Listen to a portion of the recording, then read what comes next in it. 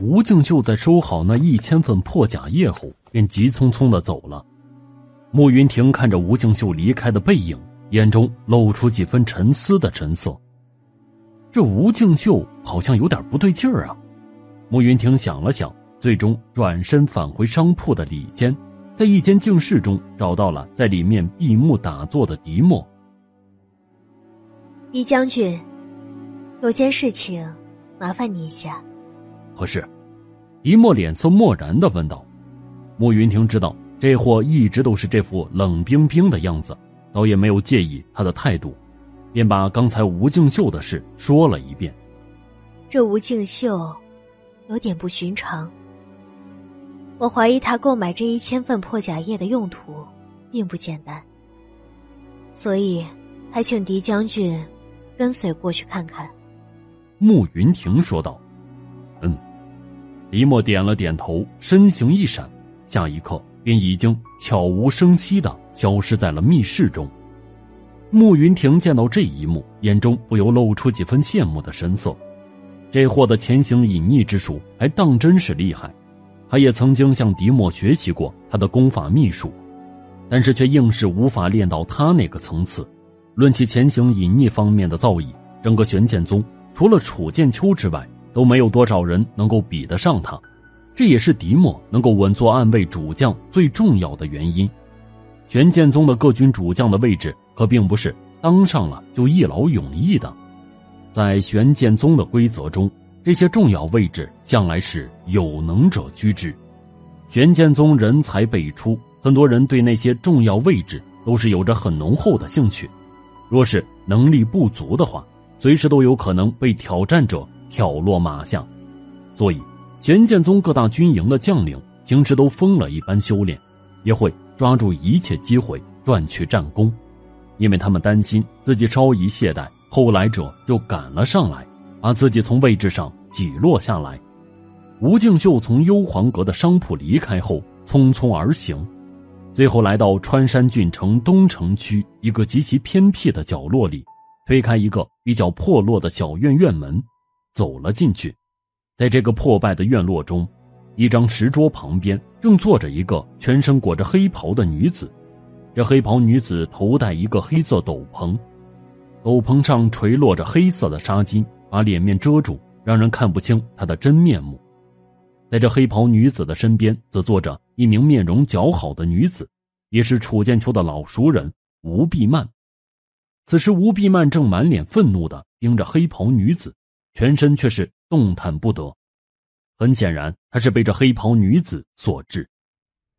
来了。黑袍女子见到吴静秀进入院落中，顿时语气淡漠的说道：“我让你买的破甲液，你买来了没有？破甲液我给你买回来了，你可以放人了吧？”吴静秀取出了一个玉瓶。看着那黑袍女子，冷冷的说道：“吴碧曼听到吴敬秀这话，瞬间瞪大了眼睛，脸上满是焦急的神色。吴敬秀怎么这么糊涂，居然真的去替这黑袍女子买破甲液？谁知道这黑袍女子要破甲液干什么？万一她是按摩浴的奸细怎么办？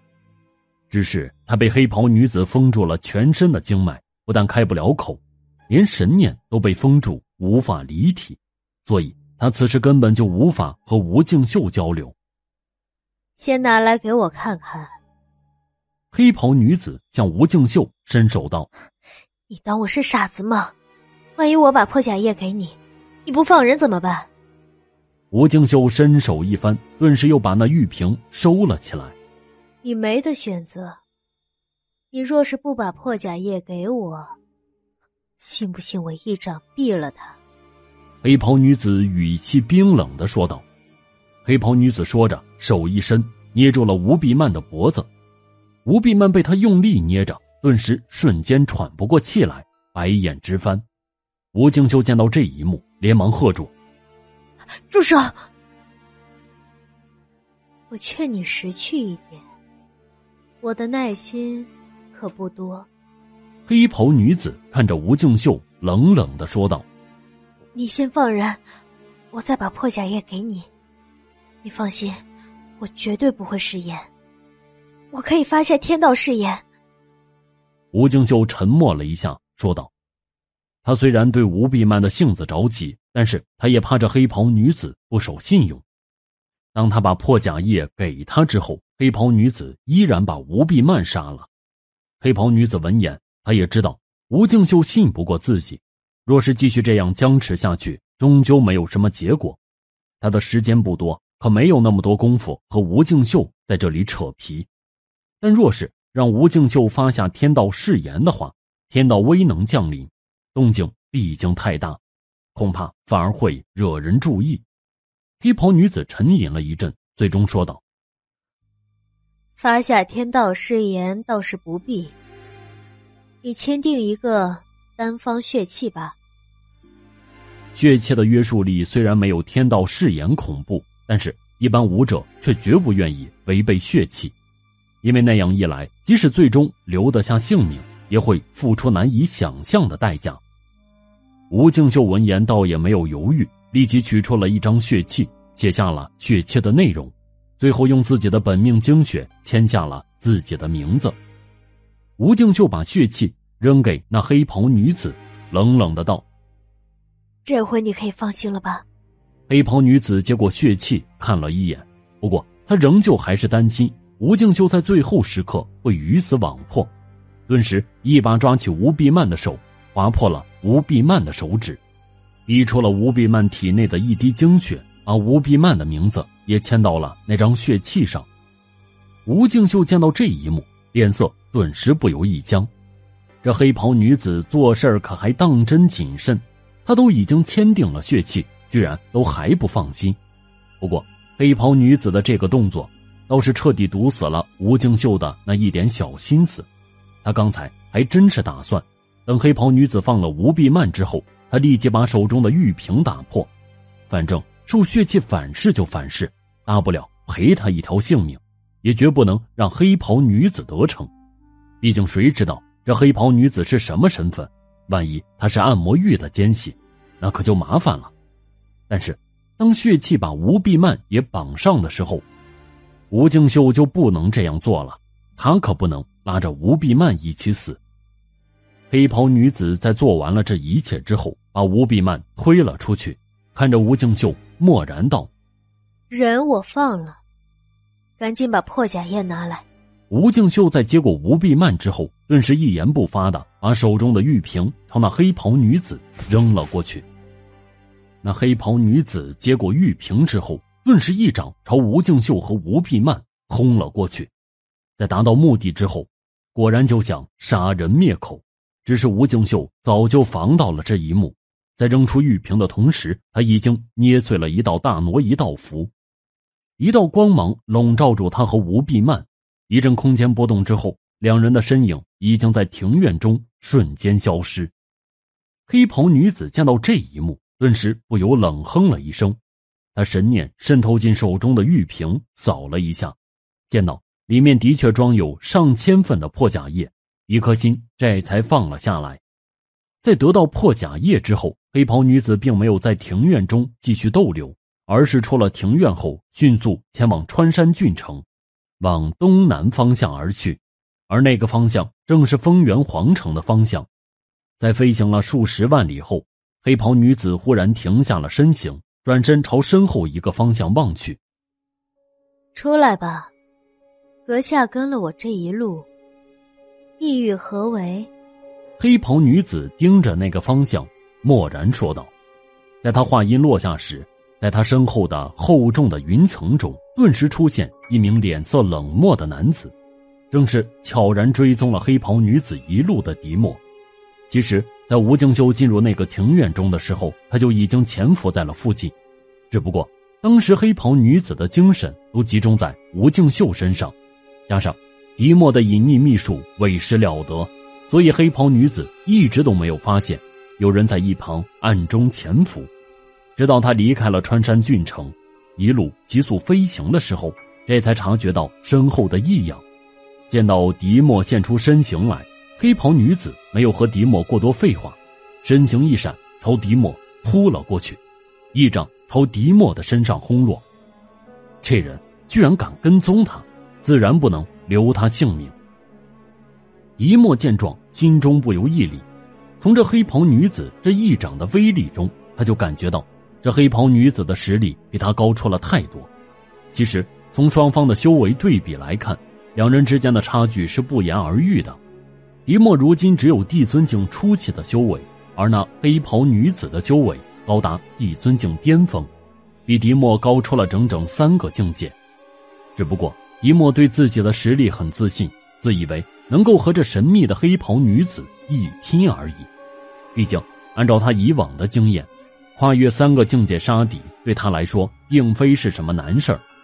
以他的战力，即使在同阶战力强悍无比的玄剑宗，他都能够跨越一两个境界杀敌；而对付玄剑宗之外的武者，跨越三四个境界杀敌，这是再正常不过的事情了。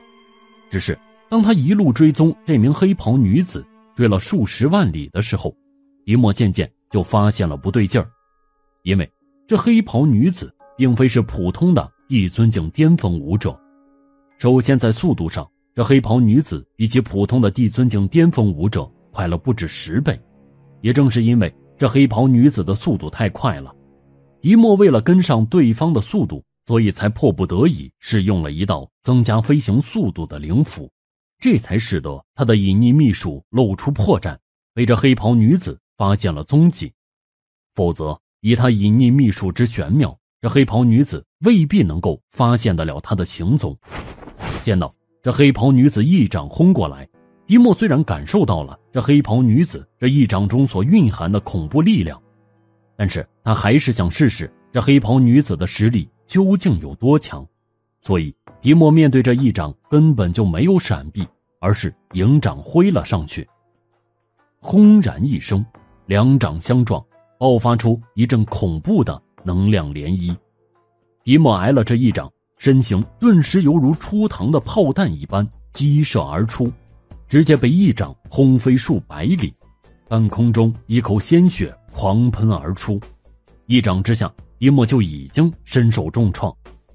感受到这黑袍女子这一掌的恐怖威力，迪莫心中骇然无比。他知道自己的实力和这黑袍女子相差实在太大了，根本就远非这黑袍女子的对手。在一掌把迪莫轰飞后，那黑袍女子如影随形而至，又是一掌朝迪莫轰了过去。这一次，迪莫不敢再应接，他手掌一张，一道光芒从掌间闪过。瞬间，在他面前形成八道金盾虚影，挡下了黑袍女子的这一掌。轰然一声巨响，黑袍女子这一掌之下，八道金盾虚影顿时碎裂了七道，剩下的最后那一道金盾虚影也是布满了裂缝。一墨见到这一幕，心中更是大骇。他手中的这道八盾金符虽然并非最强版，但也足以抵挡住半步天尊境强者的全力一击。想不到，这黑袍女子一掌之下，几乎就已经把这八盾金符的防御全部破掉。这黑袍女子的实力，比起他想象中的都要更加可怕。迪莫立即使用了一道大挪移道符，拉开了自己和黑袍女子的距离，然后手一挥，面前出现了数十具帝尊境巅峰的傀儡。这数十具帝尊境巅峰的傀儡。是这次他到川山郡城来，给慕云亭等幽黄阁弟子当护卫，楚剑秋特意赠给他的，以增强他的实力。一墨操控着数十具帝尊境巅峰的傀儡，朝着那黑袍女子围杀过去。这黑袍女子的实力再强，也不可能是这数十具帝尊境巅峰傀儡的对手吧？这些帝尊境巅峰傀儡可是由修炼了黑鳞魔体的。按摩与帝尊境巅峰的武者的尸体炼制而成的，实力比起普通的帝尊境巅峰武者，不知道强大了多少倍。那黑袍女子见到这一幕，顿时冷笑一声，手掌一翻，手中出现一个玉瓶，她把玉瓶打开，手一招，在真元的牵引下，数十份破甲液便从玉瓶中飞出来。黑袍女子把这数十份破甲液悬浮在手掌上空。然后手一挥，这数十份破甲液便朝那数十具帝尊境巅峰傀儡飞去。一墨见到这一幕，心中一沉，暗叫一声：“不好，想要操控那些帝尊境巅峰傀儡，避开那些破甲叶。只是那些破甲叶的来势何等迅速，还没等迪莫反应过来，那些破甲叶便已经落在了那些帝尊境巅峰傀儡的身上。在破甲叶的消融下，这些帝尊境巅峰傀儡身上那些黑色鳞甲很快便已经被破甲叶消融一空。黑袍女子手掌一张，手中出现了一柄长剑，身形一闪。犹如闪电一般朝那些帝尊境巅峰傀儡射去，一阵冷冽的剑光闪过，数十具被破甲叶消融了黑色鳞甲的帝尊境巅峰傀儡，便已经在这冷冽的剑光下被切成了碎片。没有了黑色鳞甲护体的帝尊境巅峰傀儡，在这黑袍女子的剑光下，居然不堪一击。迪莫见到这一幕，顿时忍不住。一阵头皮发麻，尼玛，这娘们委实太恐怖了！回他之前居然还想着和这娘们硬拼，还好这娘们一开始的时候并没有对他出剑，否则估计他此时尸骨早凉了。数十具珍贵无比的地尊境巅峰傀儡就这样被解决掉，一墨心中顿时只觉一阵滴血，只是他很快就顾不得心疼了，因为。那黑袍女子在解决掉数十具帝尊境巅峰傀儡之后，又朝他扑了过来。迪莫见到这一幕，深深吸了口气，手掌一翻，顿时取出了数块火红色晶石，一把朝那黑袍女子扔了过去。本来迪莫是不想使用荒古岩爆符的，毕竟如今玄剑宗已经没有荒古岩爆符的存货了，用一块就少一块。下一批的荒古岩爆符还不知道要等到什么时候才有呢，而这些荒古岩爆符是他以前用战功兑换来的一些存货，所剩也不多。只是这黑袍女子来势汹汹，逼得他不得不用，否则他今天的命都不知道能不能保得下来。一墨此时心中后悔到了极点，早知道刚才在使用大挪移道符的时候就直接。远距离挪移逃命了，也不至于后面直接浪费这么多珍贵的宝物。数十具帝尊境巅峰傀儡，再加上数块荒古岩爆符，这一波真是亏到姥姥家了。也不知道得赚多少的战功才能够赚回今天的损失。那黑袍女子见到这几块火红色晶石袭来，脸色顿时不由巨变，他再也顾不得继续追击迪莫。身形骤然，急剧暴退。他很清楚，这些火红色晶石究竟拥有何等可怕的威力，根本不敢去应接。轰然一声巨响，那数块火红色晶石爆炸开来，一团巨大无比的火球冲天而起，恐怖无比的爆炸威能掀起一阵狂暴无比的气浪，犹如排山倒海一般朝四周席卷而去。那黑袍女子由于闪避的快，倒是没有被那爆炸的余威波及的太厉害。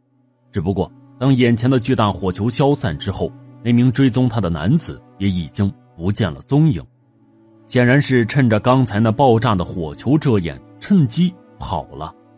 等到周围的爆炸余威彻底平息之后，黑袍女子目光扫视了四周一眼，为了防止再遭到别人的追踪，这一次，黑袍女子。取出了一道秘宝捏碎，秘宝捏碎后，一道光芒笼罩住黑袍女子的身影。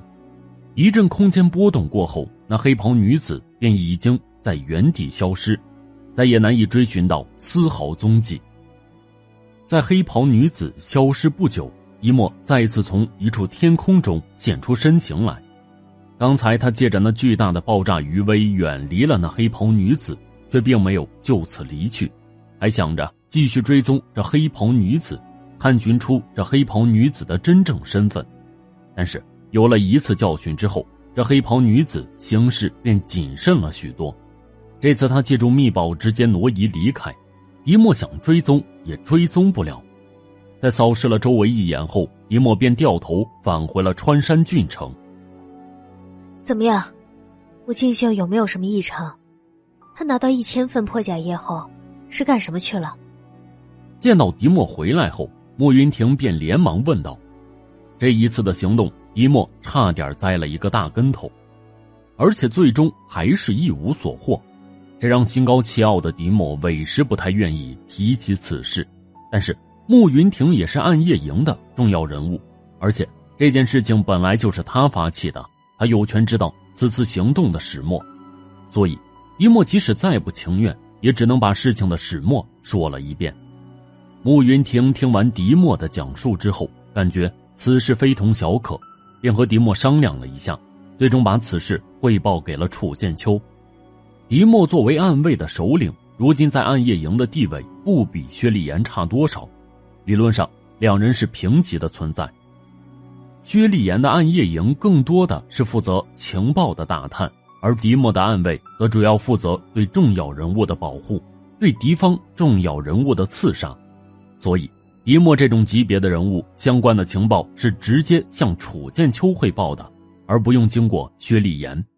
当然，在事后，迪莫也必须和薛立言的暗夜营做情报共享，补充完善暗夜营的情报信息。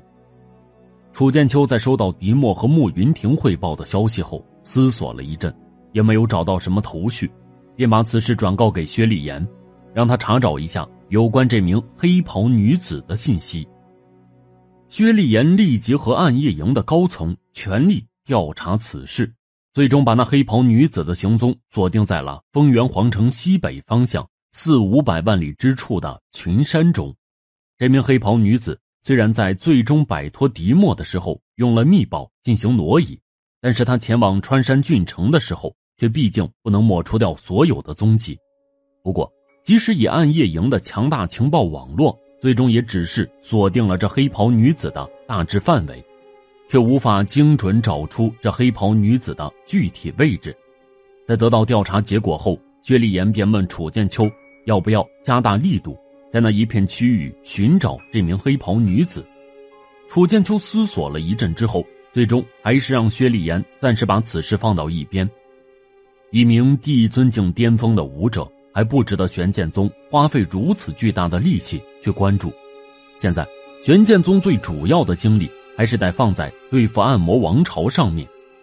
这黑袍女子虽然有点诡异神秘，但是区区一名帝尊境巅峰的武者，任他再折腾也翻不起多少浪花来。至于这黑袍女子是不是按摩玉的奸细，会不会拿着一千份的破甲液交给按摩玉？从而让按摩玉研究出破解之法，楚剑秋根本就不担心这种事情。他既然决定公开出售破甲液，就不怕按摩玉想办法拿到破甲液，因为这种事情根本就避免不了。即使按摩玉要研究破甲液的解药，也不是短时间内可以完成的。而丰原王朝的边军和众多的丰原学宫武者，在得到破甲液之后，却不会。留给这么多时间给按摩玉来慢慢研究，他已经把破甲液的价格降到了这么低，无论是丰原王朝边军的官方，还是那些将领私下里，都已经得到了大量的破甲液。若是在这种情况下，丰原王朝都还抓不住机会的话，那他也无话可说了。在迪莫和慕云亭汇报此事不久之后，吴敬秀也发来讯息，向他说了一下此事。而且吴敬秀还特意因为此事向他道歉了。楚公子，真是对不起，我这也是为了救我堂姐。楚剑秋在收到这讯息的时候，心中顿时不由一乐，想起吴碧曼那娘们儿以前可没少对自己张牙舞爪，顿时故意的说道：“那你应该让吴碧曼亲自来向我谢罪。”楚公子，此事毕竟是我做的，你要处罚。就处罚我吧，无论是什么处罚，我都心甘情愿。吴敬秀心中一急，急忙传讯说道：“楚剑秋见到吴敬秀真的焦急起来，顿时也没有继续逗他。哎，算了算了，不就是一千份破甲液吗？没什么大不了的。而且这破甲液既然是你花钱买的，你爱怎么处理就怎么处理，我也管不着。如果你心中真的过意不去的话。”可以送个一亿七品灵石，意思意思一下。吴静秀在收到这条讯息时，脸色顿时不由一僵，开口就是一亿七品灵石，真以为一亿七品灵石是什么烂大街的东西。他虽然在远古遗址秘境中得到的机缘不少，但是一亿七品灵石对他来说也不是个小数目。这家伙的贪财还是一如既往的死性不改。见到楚剑秋说到这个份上，吴敬秀也就放心了。这表明这件事情并不是多么严重，他自然不会真的像楚剑秋所说的那样，真的送去一亿七品灵石赔罪。他又不是傻子。岂能当这种冤大头？在玄剑宗给破甲业大降价，并且在西长郡和川山郡开设幽黄阁分店后，丰源王朝开始对暗魔王朝大军发起了全面反击。丰源王朝边军拥有了破甲叶这样一件大杀器，原本在战场上拥有巨大无比优势的黑鳞魔体，此刻恰好成为了暗魔王朝大军的索命无常。经过两三个月的反攻，暗魔王朝大军被彻底赶出了丰源王朝境内，而且就连远古遗址秘境的空间通道入口都再次被丰源王朝大军占领。直到退回暗魔王朝的边境线内，依靠城池的阵法防御，破甲液起不了很大作用，这才抵挡住丰源王朝的进攻。在这两三个月的战争中，因为破甲液的原因。暗魔王朝大军的损失不是一般的严重，要不是他们还有魔灵果可以源源不断的制造尊者境大军，他们估计都会直接被打残。战龙尊者在把暗魔王朝大军赶出风元王朝境内，并且占领了远古遗址秘境的入口后，并没有继续攻打暗魔王朝的疆域。经过和暗魔王朝一场又一场的大战，虽然。这次风元王朝凭借破甲业最终取得了胜利，但是丰源王朝也差不多到了弹尽粮绝之境，不但几乎所有的家底全部都用来向玄剑宗购买战阵甲兵、疗伤丹药和破甲液等占领物资，而且本身大军在战争的过程中折损也非常严重，就连丰源学宫的参战弟子也差不多死伤过半。在这场战争取得胜利后，也没有多少人愿意继续打下去了。最为关键的是，风元王朝也没有钱继续维持这场战争。最终能够支撑到夺回远古遗址秘境入口的控制，这已经是战龙尊者所能够做到的极限了。玄剑宗原本在打了平潭郡城的那几场战争后，虽然取得了巨大无比的胜利，但是也烧掉了大量的资源。这几场战争打下来，也差不多把玄剑宗的家底儿给打没了。事后，夏幽皇和户部众人经过一番核算，总结出平潭郡城的那几场战争所消耗的各种资源加起来超过一百五十亿七品灵石。不说其他方面的消耗，光是经验破山弩前前后后就烧掉了六七十亿的七品灵石。打了那几场战争后，玄剑宗也没有多少存粮了。不过这几个月来，玄剑宗通过出售破甲业，却又赚了不少钱，恢复了不少元气。而玄剑宗所赚的钱，都是风元王朝的大军以及风元学宫的弟子的。玄剑宗倒是恢复了不少元气，但是风元王朝却是几乎从上到下都被搜刮了个一干二净。如今的风元王朝用一穷二白来说都不为过，此时的风元王朝是真的已经支撑不起再打一场大战了。也正是因为如此，暗魔王朝在缩回了自己的边境线之后，两大王朝之间的边疆疆域才算是暂时恢复了平静。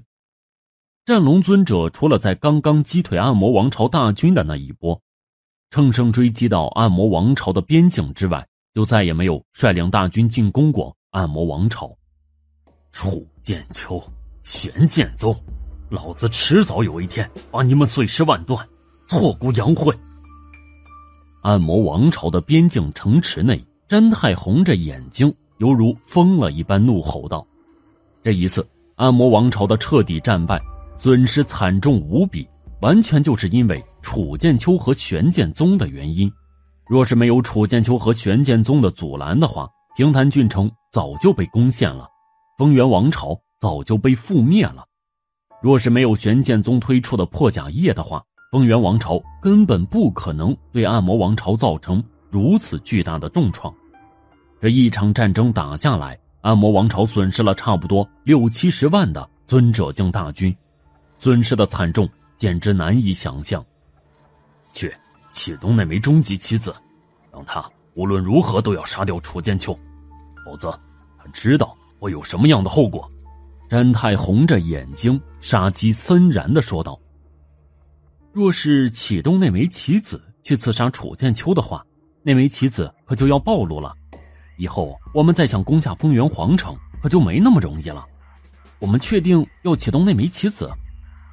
燕峰看着詹泰，认真的说道：“当初埋下那枚棋子的时候，他们暗魔域可是付出了不少的心血和代价。那枚棋子可是为了攻打丰原皇城的最后时刻所准备的。你认为不干掉楚剑秋，我们有机会打到丰源皇城？你信不信？”等丰源王朝恢复元气之后，在楚剑秋这小畜生的支持下，我们连暗魔王朝的疆域都保不住。詹太红着眼睛，脸色漠然的说道：“在这场战争之中，楚剑秋对暗魔王朝造成的损失太过惨重了，可以毫不夸张的说，这场战争就是因为楚剑秋一人之力，才完全扭转了整个局势的。楚剑秋对暗魔王朝的威胁。”不但比战龙尊者要强上无数倍，即使比丰原王朝实力最强的丰原皇族老祖风山玄，也同样要强大的多。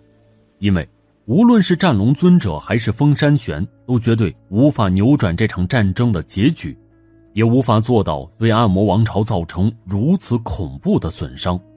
因为楚剑秋强大的不只是他的个人实力，最关键的是他那层出不穷的诡异手段。若是让楚剑秋继续活下去，他还不知道究竟还会搞出什么样的幺蛾子出来。到时候恐怕整个暗魔王朝都得覆灭在他的手下。况且，先不说其他，光是楚剑秋那无人能及的武道天赋，对暗魔王朝就是一个巨大无比的威胁。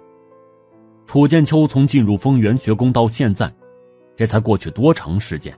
实力成长就已经达到了如此可怕的地步，若是再让楚剑秋顺利成长几年，谁还能够奈何得了他？估计到那时，即使是狱主亲自出手，都拿他无可奈何。可以说，现在是杀死楚剑秋的最后机会了。一旦错过这个机会，恐怕整个暗魔王朝以后都要寝食难安。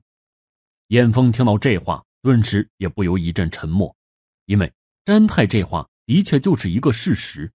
若是不除掉楚剑秋的话，以后暗魔王朝莫说打到丰源皇城，恐怕有可能还会自身难保。那名棋子还在闭关中，等他出关之后，我会让人去启动这枚棋子。”燕峰说道。当初有关那枚棋子的所有布局，都是他一手操持的。为了使得布局尽量严密，他当初把那枚棋子送到丰源王朝之前，还特意封印了他的一部分记忆，让他不至于在平时的行为举止之中露出破绽。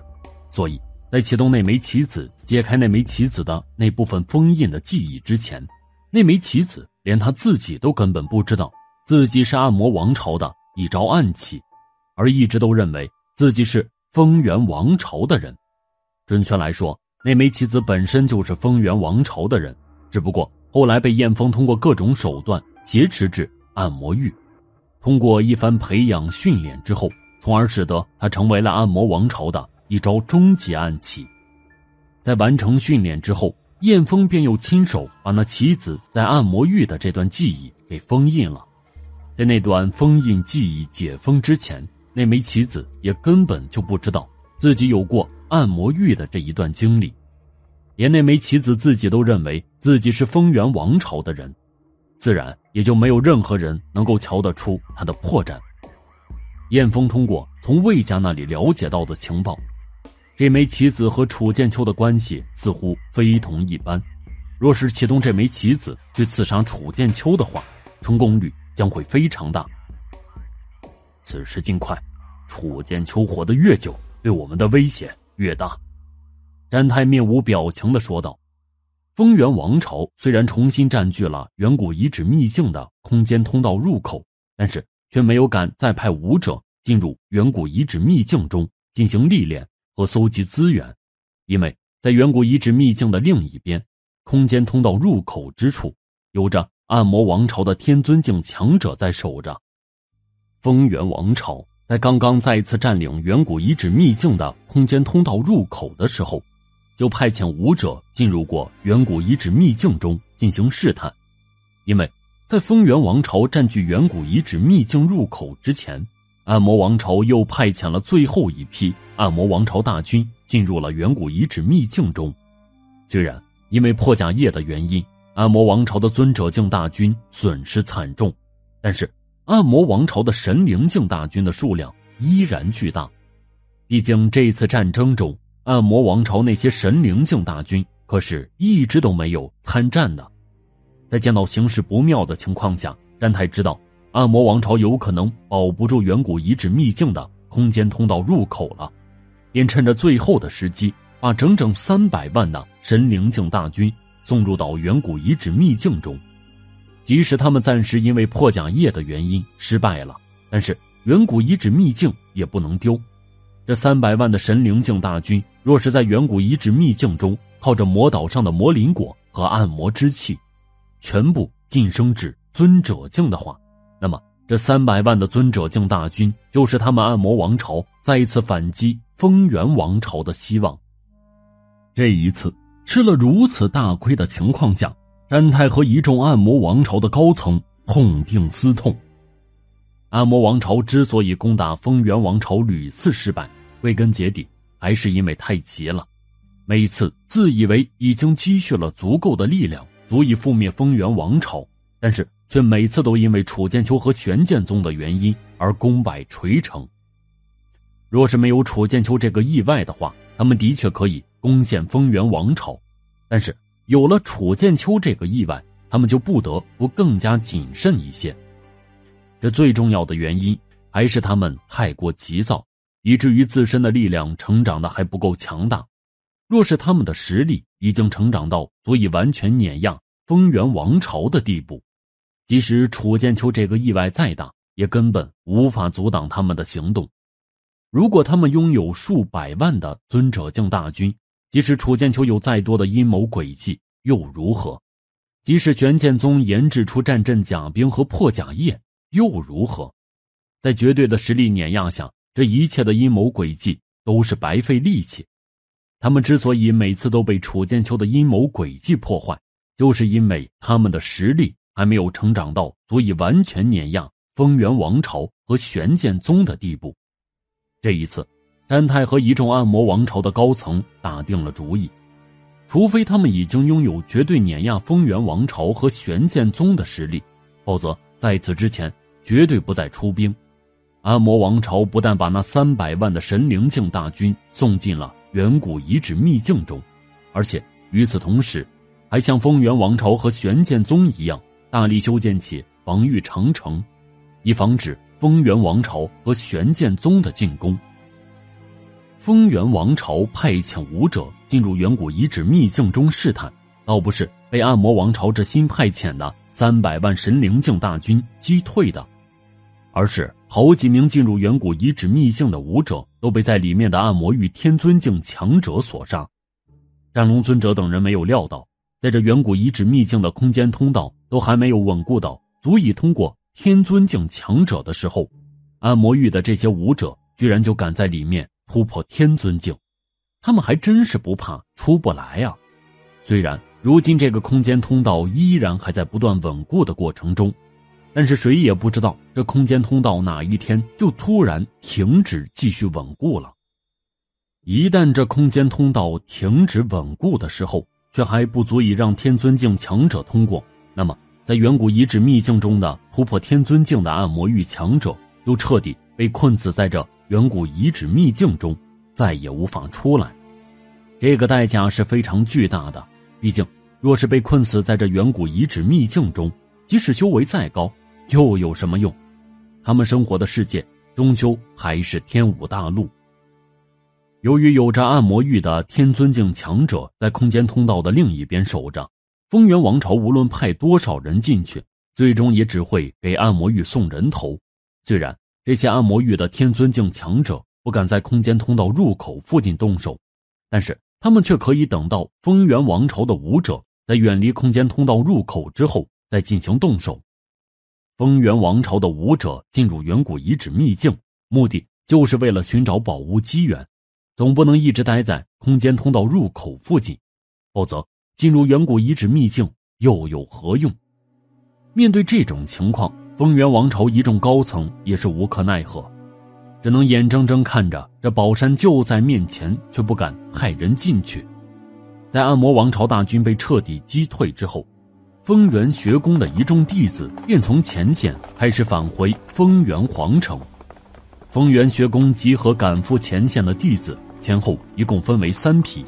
其中最为惨烈的是和楚剑秋一起赶赴香风郡城协防的第一批丰源学宫弟子，在那一场守城大战中，那批丰源学宫弟子几乎死伤了大半后面两批赶至川山郡城协防的丰源学宫弟子，虽然也死伤不少，但是却远远比不上江丰郡城那场战争的损失惨烈。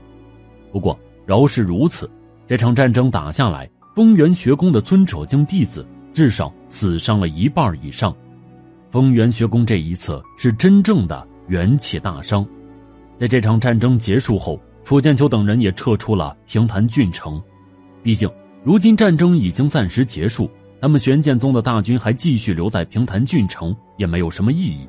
不过，楚剑秋和玄剑宗大军虽然撤离了平潭郡城，但是。布置在平潭郡城周围方圆百里的迷雾大阵，楚剑秋却并没有撤去。这个迷雾大阵耗费了他大量的时间和心血所布置出来的，楚剑秋可不想轻易撤掉。况且，平潭郡城乃是通往南州极其重要的要塞，扼守这样的要塞，无论是对抵挡暗魔王朝大军的进攻，还是提防风原王朝，都有着极其重要的意义。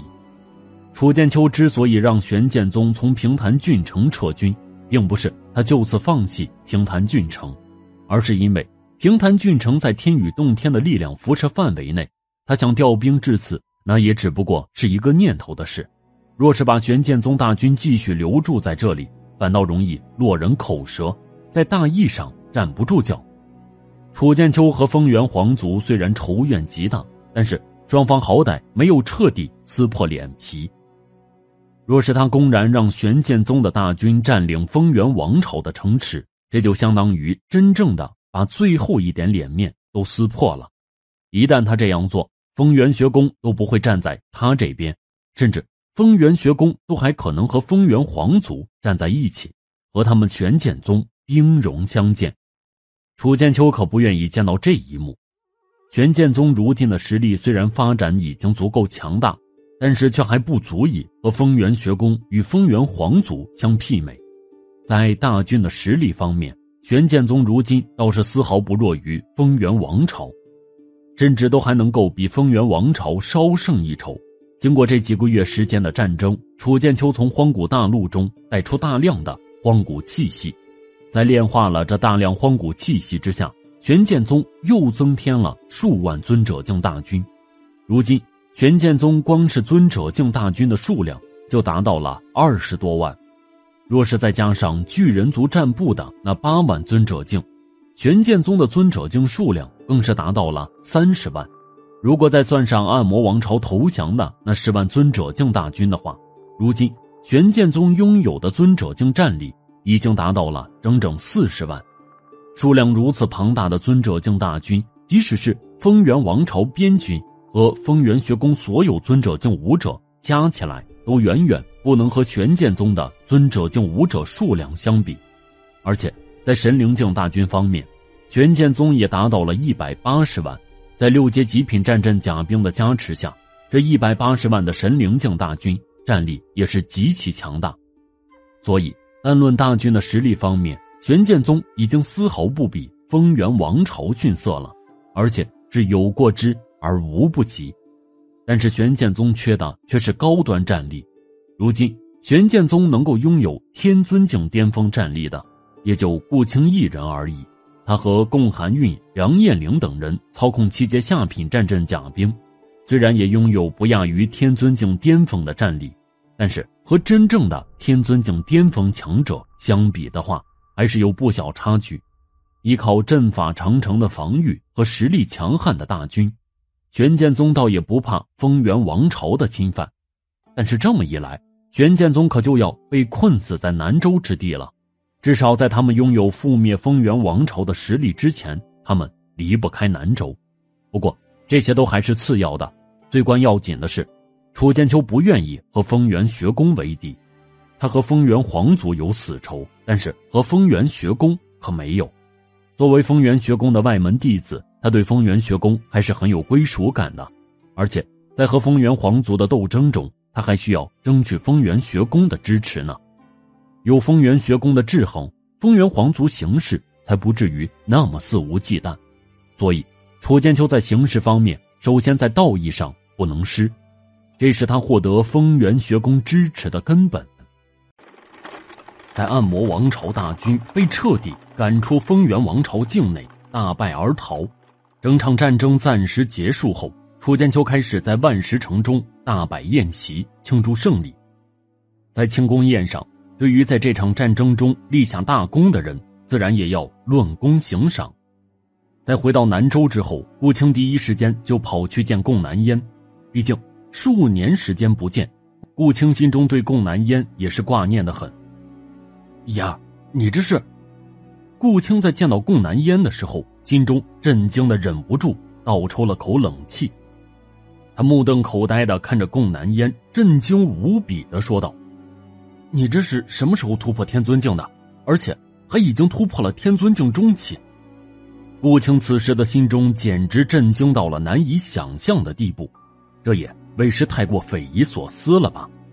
即使他这个曾经和风飞尘那种风元王朝数十万年难得一见的绝世天才齐名的妖孽，也根本无法做到像贡南烟这样，短短数年时间，居然就从帝尊境巅峰。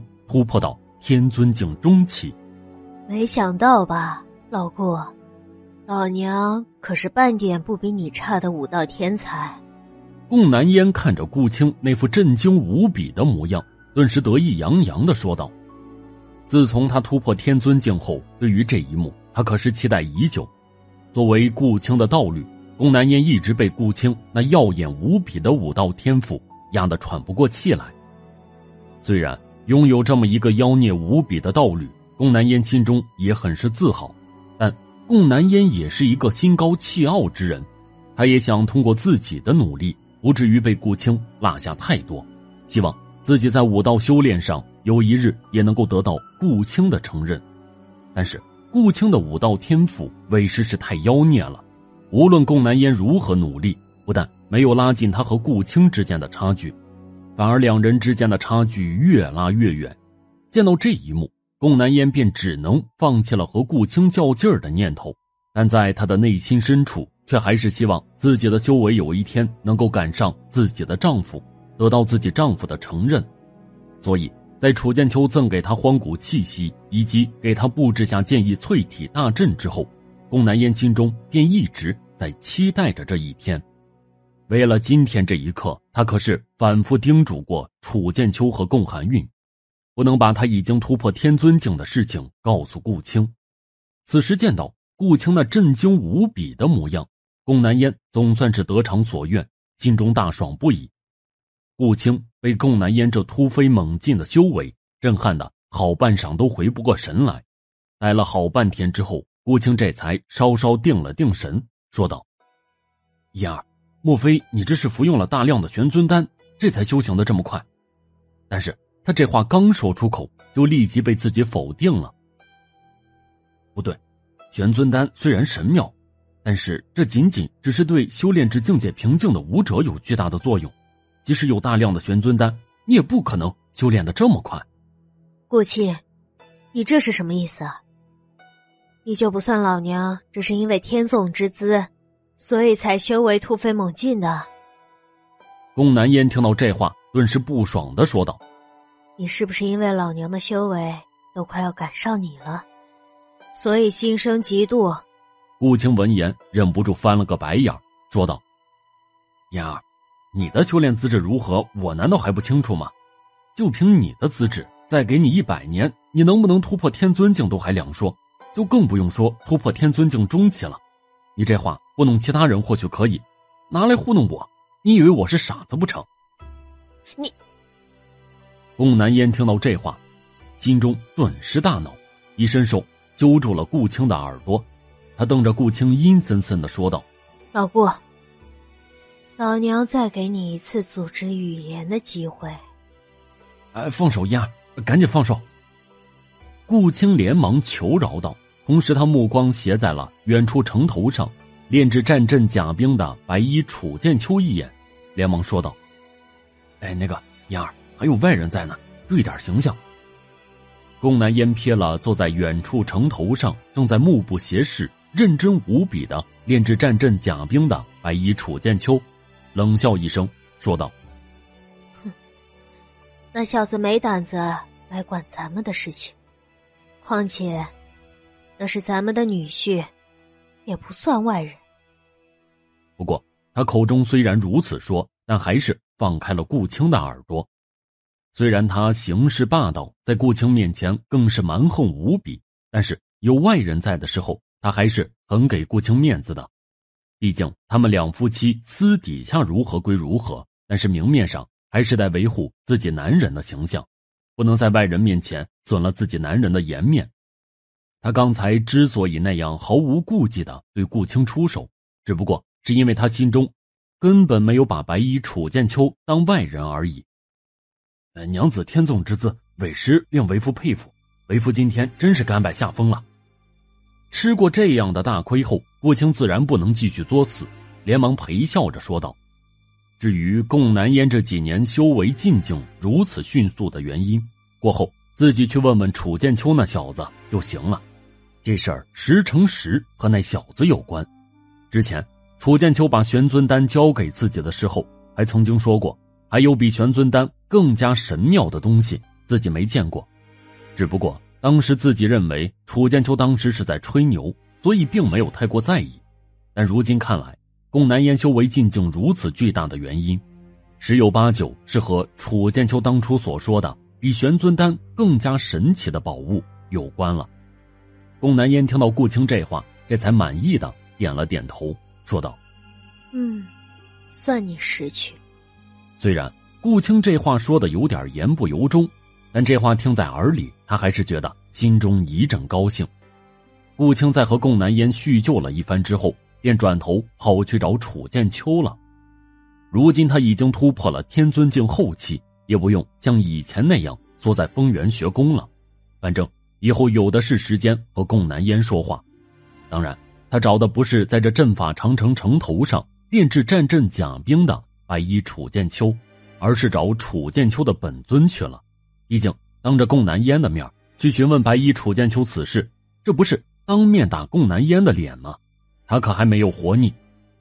哦，你说贡前辈修为突飞猛进此事啊，这也不是多大的秘密，就是炼化了荒古气息而已。楚剑秋取出了一缕荒古气息，扔给了顾青，一脸风轻云淡的说道。在顾青协助玄剑宗大军镇守平潭郡城的这几个月里，楚剑秋也没有把荒古气息给他。这一来是因为以顾青现在的修为，要想突破到天尊境巅峰，所需要耗费的荒古气息的数量实在太过庞大了。能够支持顾青突破天尊境巅峰的荒古气息，都能够制造出数万尊者境大军了。而数万尊者境大军通过七阶下品战阵甲兵的配合。所发挥出来的战力可比顾青更加强大。在这种重要的时候，楚剑秋自然需要把荒古气息的利用最大化，以最大程度的增强玄剑宗的实力。这二来是因为顾青刚刚突破天尊境后期，这段时间他最需要的是稳固境界，而不是继续增长修为。既然顾青短时间内不可能再突破一重境界。楚剑秋也就没有在这种关键时刻把荒古气息浪费在他身上了，而现在，和暗魔王朝的战争已经暂时结束，没有了暗魔王朝的威胁，楚剑秋也就没有那么急着去提升玄剑宗大军的实力，自然也要开始把荒古气息给顾青炼化了。毕竟，如今顾青可是玄剑宗最为强大的高手。顾青接过楚剑秋扔过来的荒古气息，感受到这股荒古气息那种苍茫远古的玄妙气息，心中再次大吃一惊。虽然他还没有炼化这缕荒古气息，但是从这股荒古气息所散发出来的气象来看，就知道这东西极其不凡。这荒古气息是什么东西？就是它使得燕儿这几年来的修为突飞猛进的。顾青看着楚剑秋问道。你把它炼化之后就知道了。不但是贡前辈，像贡师姐、风飞渊和张师兄他们，之所以修为增长的这么快，都是靠他。楚剑秋说道。顾青闻言，顿时也没有再废话，直接把手中的这缕荒古气息吸收进体内，开始炼化。以他这样的绝顶强者，炼化一缕荒古气息，自然还不至于去闭关。不过，即使以顾青天尊境后期的修为，而且。还是武道资质极其逆天的绝世妖孽，炼化一缕荒古气息也依然花费了半个时辰的时间。在炼化这缕荒古气息之后，顾青才真正知道这荒古气息究竟是何等逆天的宝物。他活了这么久，还从来没有见过比这荒古气息更加逆天的天才地宝。有了如此逆天的宝物，怪不得贡南烟能够短短数年。不但完全修复了暗魔窟引毒给他带来的隐患，而且还接连突破数重境界，达到了天尊境中期的修为。若是他拥有足够的荒古气息，他都能够有把握在一年时间内突破到天尊境巅峰。楚兄弟，多谢了。顾青在炼化荒古气息后，向楚剑秋深深行了一礼，郑重无比的道了一声谢。一缕荒古气息而已。不是什么大不了的东西，楚剑秋摆了摆手，满不在乎的说道：“我向楚兄弟道谢，不是为了这一缕荒古气息，而是感谢楚兄弟对嫣儿和韵儿的照顾。”顾青认真的说道：“在炼化了这一缕荒古气息之后，他很清楚这荒古气息的珍贵，至少在他的见识中，还没有发现任何的天才地宝能够与荒古气息相比。”任何一名武者在得到如此珍贵的荒古气息后，估计第一时间都是紧紧藏着，担心别人的发现，而更不用说拿出来去送给别人了。而楚剑秋拿出来给贡南烟的荒古气息，居然让贡南烟一直突破到天尊境中期。楚剑秋在贡南烟身上所花费的荒古气息数量之巨，可想而知。再加上楚剑秋之前数次救过他的女儿的性命，历经艰难从远古遗址秘境中取得生命原液救活他的妻子，楚剑秋对他一家子的恩情，他顾青简直是粉身碎骨都难以为报了。哎，老顾，你这就见外了。而且贡前辈和贡师姐获得的荒古气息，那可不是白给的，而是要拿战功来兑换的。玄剑宗人人如此。也并不是只有贡前辈和贡师姐才有这样的待遇。就算你老顾以后想要得到荒古气息，那也必须得拿战功来兑换。我玄剑宗内可从来没有不劳而获的人。”楚剑秋笑着说道。顾青听到这话，顿时不由一愣。他看着楚剑秋，有些不可思议的说道：“难道楚兄弟这荒古气息还能够无限供应？这个怎么说呢？”这荒古气息既可以说是可以无限量供应，也不能说是无限量供应。说是能够无限量供应，这是因为这荒古气息我可以源源不断的获得；说不能无限量供应，是因为我每次所获得的荒古气息的数量也是有限的。所以，这荒古气息在我玄剑宗内那也是紧俏货，只有立下足够战功的人才有资格兑换这荒古气息。”楚剑秋说道。“那这么说。”以后我也可以获得荒古气息了。顾青听到楚剑秋这话，眼睛顿时不由一亮。如果楚剑秋这荒古气息是有限的，他自然不好意思去问楚剑秋要这荒古气息。毕竟楚剑秋对他们一家子的恩情已经够大了，他脸皮再厚也不敢向楚剑秋伸手索要如此珍贵的宝物资源。但是这荒古气息，楚剑秋却是可以无限制的获得，那他也就不必和楚剑秋那么客气了。外姓顾的，你这是什么意思啊？要抢本姑娘的荒古气息？顾青此话刚落，一道青色身影以快捷无伦的速度，迅速无比的闪了过来。那青色身影在落到楚剑秋的身边后，骤然一个悬停，落在楚剑秋的肩膀上，却是一只小青鸟。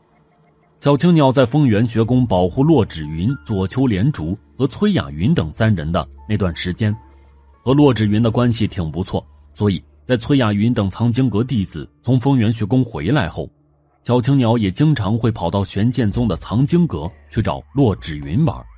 这次他刚从玄剑宗藏经阁那边回来，就听到顾青说什么荒古气息的事情，小青鸟瞬间就炸毛了。他落在楚剑秋的肩膀上，红着眼睛，死死的盯着顾青，身上羽毛根根倒竖，一副如临大敌的样子。楚剑秋手中的荒古气息本来就是抢手货，在玄剑宗中经常供不应求。即使他立下了大量的战功，想要得到荒古气息，那也得排队。荒古气息涉及到他的血脉进阶和大道成就，以后他能不能最终进阶成凤凰，就看楚剑秋手中的荒古气息了。如今他见到顾青刚刚来到玄剑宗，就要打他的荒古气息的主意，小青鸟岂能不怒？立即就把顾青拉进了他的黑名单中。不单止如此。小青鸟还用神念传音对吞天虎叫道：“蠢虎，有人要来抢我们的荒古气息，赶紧过来！”虽然他和吞天虎不对付，但是在这件事情上，吞天虎必然和他站在一起。顾青好歹也是一名天尊境后期的绝顶强者，他一个人估计对付不来，把纯虎拉上也就有把握的多了。谁谁他妈的敢来抢虎爷的荒古气息？他妈的！是不是活腻了？吞天虎在听到小青鸟的神念传音后，立即气势汹汹的跑了过来。本来他此时正在躲避楚清秋的搜捕的。自从返回南州后，吞天虎便一直和楚清秋在斗智斗勇。楚清秋想把吞天虎找出来，而吞天虎则是千方百计的避开楚清秋的搜捕。他可不想落入楚清秋的魔爪之中，不在楚清秋的手中。他在玄剑宗可以横行无忌，想欺负谁就欺负谁，一呼百应，何等威风！而一旦落入楚清秋的手中，那日子简直是惨不忍睹，思之让人胆寒。为了躲避楚清秋的搜捕，吞天虎最近可是低调的很，连玄剑宗的军营都很少去。但是他躲在万石城中，能够躲得过楚清秋的搜寻，却躲不过小青鸟的耳目。毕竟，以小青鸟的神魂之强大，一念之间就能够覆盖整个万石城。想找到吞天虎，那简直是不费吹灰之力。此时，吞天虎在听到小青鸟的神念传音之后，顿时都顾不得会不会被楚青秋发现了，立即从蛰伏的地方跑了出来。虽然作为吞天虎，它能够吞噬万物而成长，但是荒古气息却是任何天才地宝都比不上的宝物。对他的成长同样拥有巨大无比的意义。吞天虎在跑过来之后，发现小青鸟口中要抢他们荒古气息的人，居然是顾青，顿时歪着大脑袋瞥了顾青一眼，说道：“我老顾，你这很不地道啊！刚来玄剑宗就要抢虎爷的荒古气息，不知道南州是虎爷的地盘吗？”楚剑秋见到这夯货一副江湖老大的样子。顿时忍不住一个板栗敲了过去，没好气的说道：“晴儿在这瞎胡闹，你也跟着起什么哄？”听到楚剑秋这话，吞天虎立即就怂了，顿时闲着脸，满脸陪笑的说道：“呃老大，俺这不是和老郭开玩笑吗？当不得真。老郭，你说是不是？”顾青虽然和吞天虎接触不多，但是却也很清楚这头纯虎的尿性，自然不会和这夯货一般见识。纯虎，你也太孬了吧！你这怂货，真是没卵的怂蛋！你还是个男人不？小青鸟见到吞天虎这么快就怂了，顿时气得暴跳如雷的大骂道：“行了行了，青儿，你瞎胡闹个什么劲儿？楚剑秋一把抓住了在他肩头上跳脚不已的小青鸟，一脸无语的说道：“老顾也是我们玄剑宗的供奉，自然也有资格得到荒古气息。你也别瞎嚷嚷了，以后我保证给你的荒古气息足量供应，这行了吧？”小青鸟听到这话，眼睛不由一亮，顿时也不跳脚了。他连忙说道：“楚剑秋，这可是你说的，到时候你可别说话不算话。”楚剑秋瞥了他一眼，没好气的说道：“我什么时候说话不算话了？我说给你荒古气息足量供应，自然就会给你足量供应。当然，这有一个前提，那就是你有足够的战功来兑换。若是预支的话，那就得排队了。”切，本姑娘还以为你这剥皮转性了呢。害得本姑娘白高兴一场。小青鸟听到这话，顿时撇了撇嘴，说道：“不过楚剑秋能够这样承诺他，他心中还是很高兴的。毕竟以前即使他拥有足够的战功，想要得到荒古气息，却同样也得排队。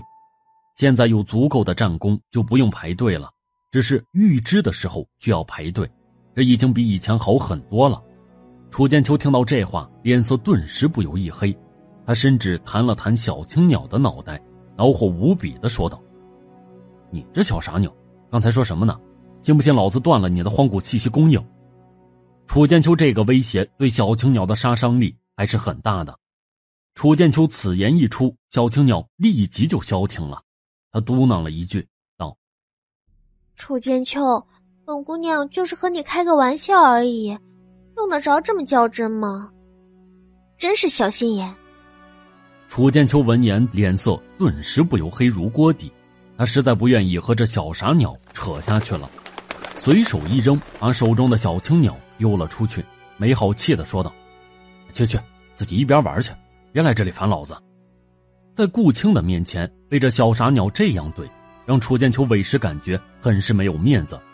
吞天虎见到楚剑秋生气了，顿时也不敢继续在这里待下去，向楚剑秋说了一声道。老大，俺俺也有事，俺就先走了。说着，转身一溜烟跑得没影了。在小青鸟和吞天虎离开后，顾青便也跟着告辞离开了。以后他也算是玄剑宗的人了，自然得好好了解一番玄剑宗。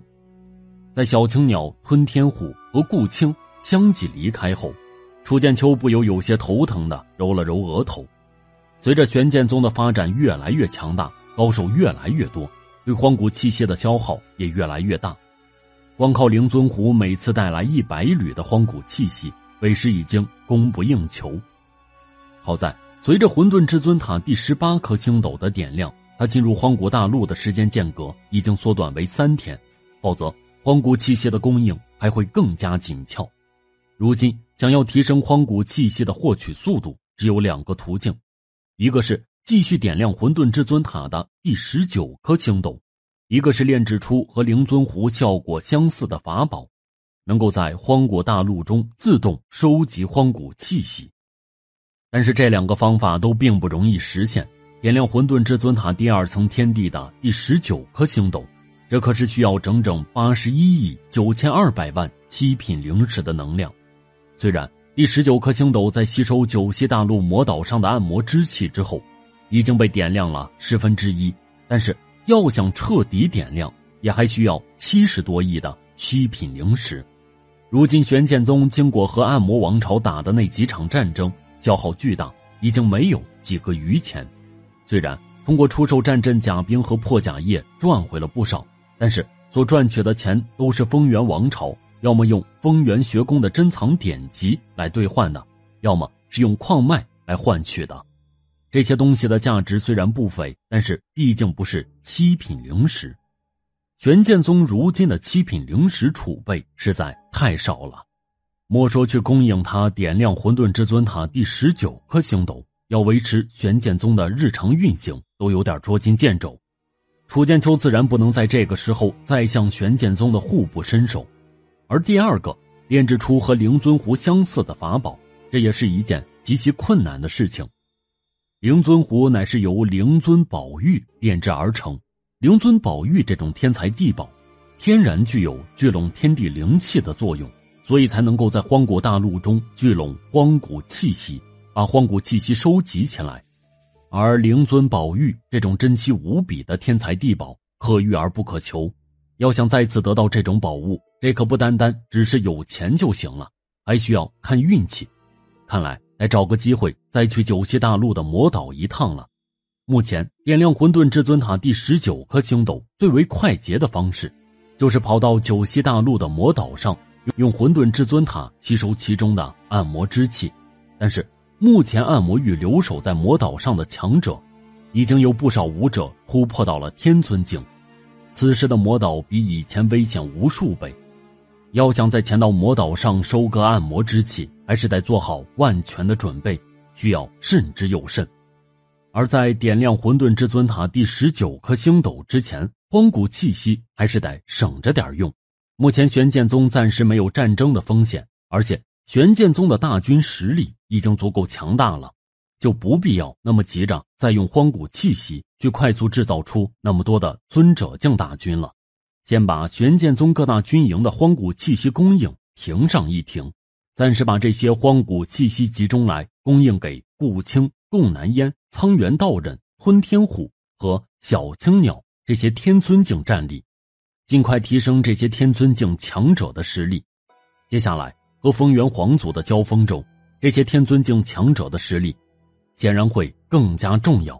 毕竟，在和风元皇族彻底撕破脸皮之前，双方不大可能在战场上兵戎相见，更大的可能是这些顶尖战力之间的交锋。顾青在告辞楚剑秋，刚刚离开万石城，打算到其他地方逛荡的时候，却忽然见到。眼前一道青影一闪，一只小青鸟已经挡在了他的面前，而和小青鸟一起跑过来的，还有一只呆萌可爱的大白猫。不过，那头大白猫在来到他的面前的时候，估摸是觉得他现在的样子不够威风，于是摇身一变，变成了一头身高丈许的大白虎。两位拦住顾某的路，这是有何贵干？顾青见到这一幕，顿时笑着问道。姓顾的，本姑娘今天可要跟你说清楚了，你不允许和本姑娘抢荒古气息。小青鸟翅膀一指，气势汹汹的说道：“我不错，老顾，这可是虎爷的地盘，你得上道点。来到虎爷的地盘上，你也不先来和虎爷拜山头，你这是不把虎爷放在眼里。”吞天虎也是俯视着顾青，很是神气的说道：“他这番和小青鸟跑过来。”倒不是为了威胁顾青，不让顾青和他抢荒古气息的。毕竟老大已经说了，顾青也是玄剑宗的人，他也有资格得到荒古气息。吞天虎对于楚剑秋的决定，向来都不会反对，所以不会像小傻鸟那样脑子抽筋，来揪住此事不放。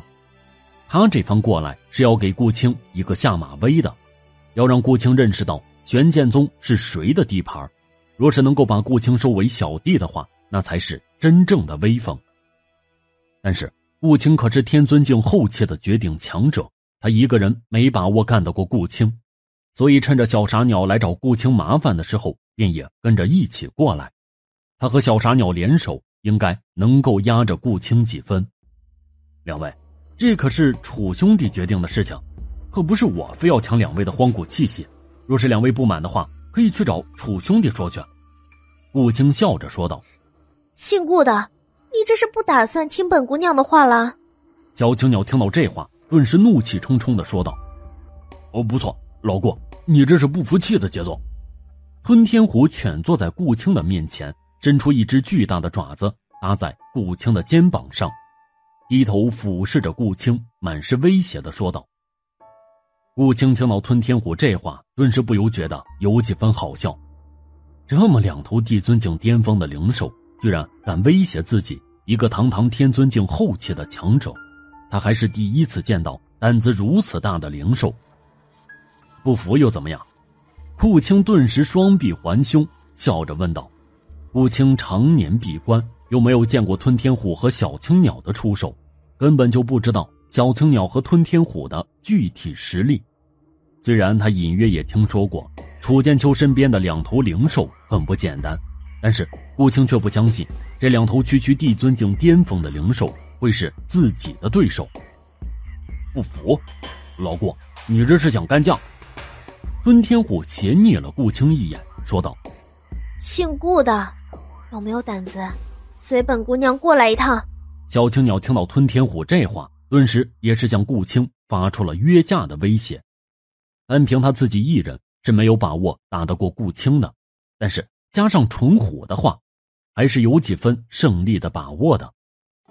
啊，不知道青儿姑娘要带顾某去哪里？顾青听到这话，顿时也来了兴致。你跟本姑娘过来就知道了，怎么样，敢不敢？有没有这胆子？小青鸟挑衅道：“好。”顾青顿时毫不犹豫的答应了下来。他也想看看这两头灵兽究竟想干什么，而且小青鸟和吞天虎都把话说到这个份上了，他也不能不答应。小青鸟身形一闪，朝着万石城的阵法中枢那边飞了过去。吞天虎和顾青两人跟在他的身后，也来到了万石城的阵法中枢这边。阵法中枢那边的守卫见到三人，顿时向三人行了一礼，让三人进去。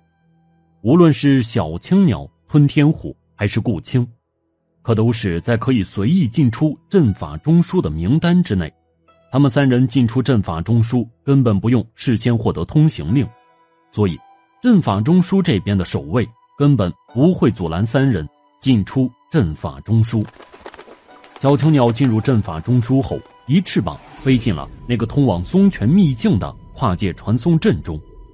一阵光芒闪过，他的身形便已经在跨界传送阵中消失不见。吞天虎跟在小青鸟的身后进入这个跨界传送阵中，接着也被跨界传送阵送走。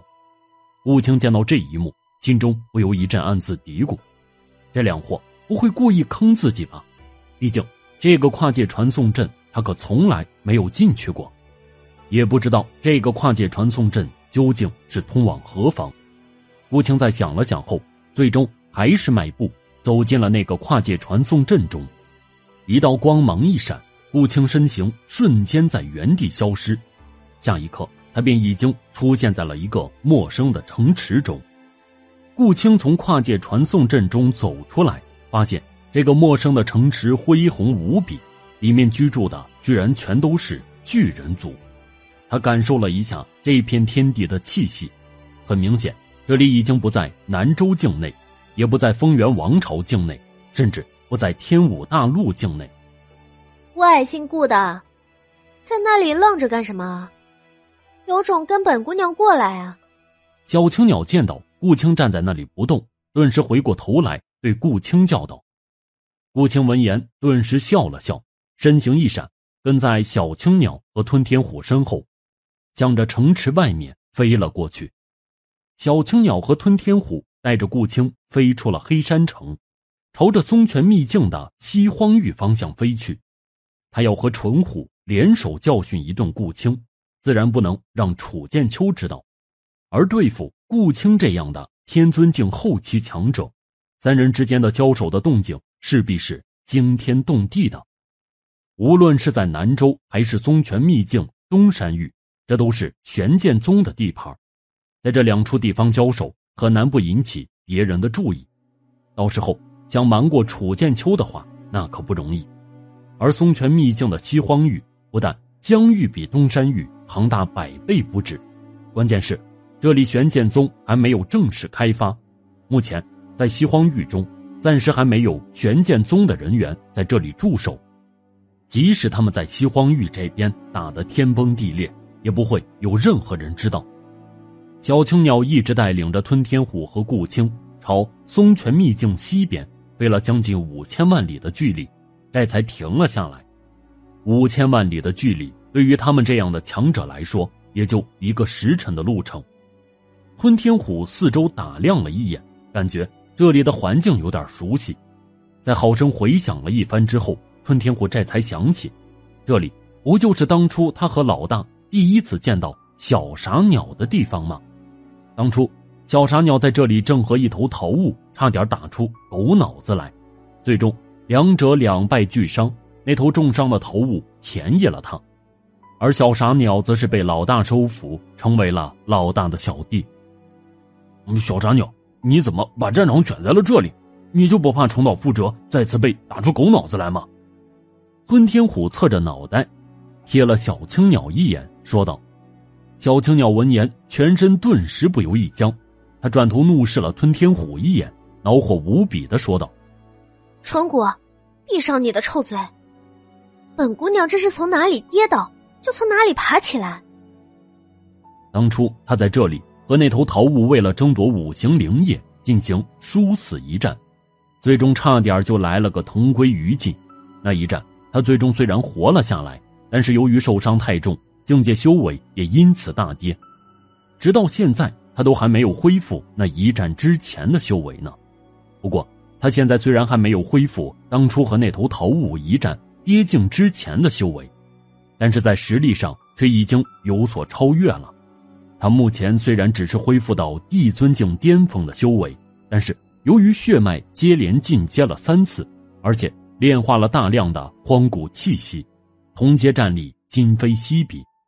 虽然修为上还没有恢复至巅峰时期，但是战力上却已经比以前巅峰时期的实力更加强大了。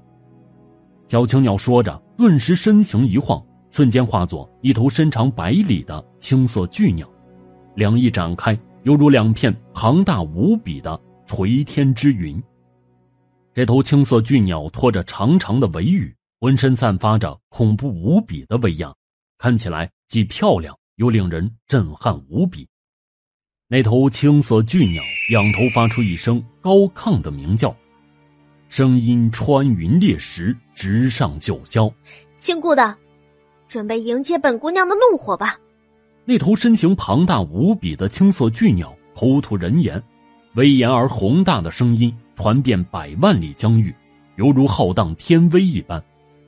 吞天虎见到这一幕，顿时也不甘示弱，身形一晃，也化作了一头身长两万丈的白色巨虎。这头庞大无比的白色巨虎，头顶天，脚踏地，两只巨大无比的眼睛犹如湖泊一般，身上散发着恐怖无比的凶焰。哦。这只白色巨虎也是仰天发出了一声震动山林的虎啸，在这两头巨兽凶威的射服下，附近所有的凶兽顿时都不由一阵瑟瑟发抖，无数凶兽纷纷朝着四面八方疯狂的奔逃，因为刚才无论是小青鸟的那声鸣叫，还是吞天虎的虎啸，都是意味着这两头恐怖无比的凶兽接下来将会发生一场可怕无比的战斗。